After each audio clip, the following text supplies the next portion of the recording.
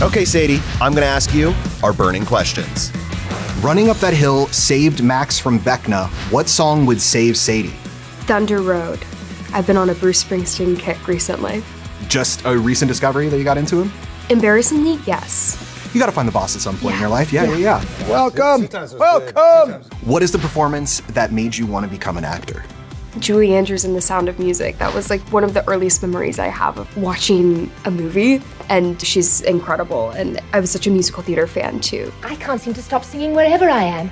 When I was younger, my first Broadway show that I did was Annie, and that changed my life tremendously. Should have seen that one coming.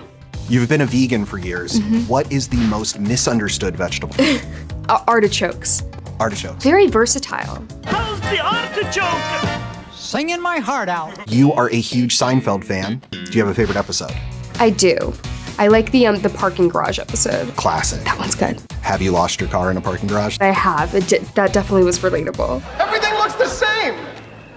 But like rats in some experiment. What is the movie that you've seen the most? Probably um, waiting for Guffman. Oh. Yeah.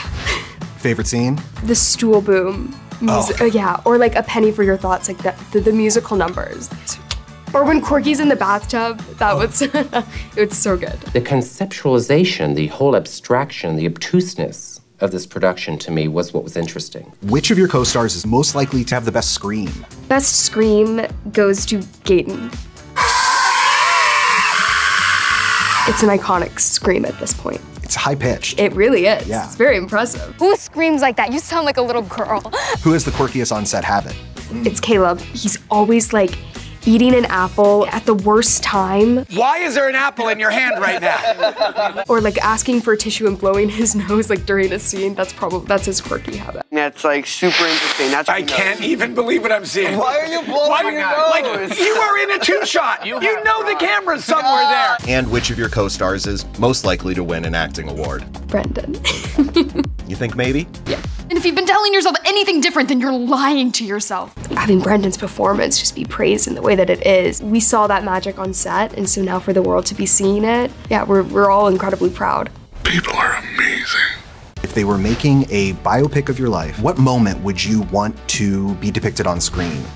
I don't know. I just I, I think of like myself when I was really really young with my brother, making up little musical dances and scenes in the backyard. That passion and excitement. That's what just has really just like driven me throughout my entire life and career. Some things never change.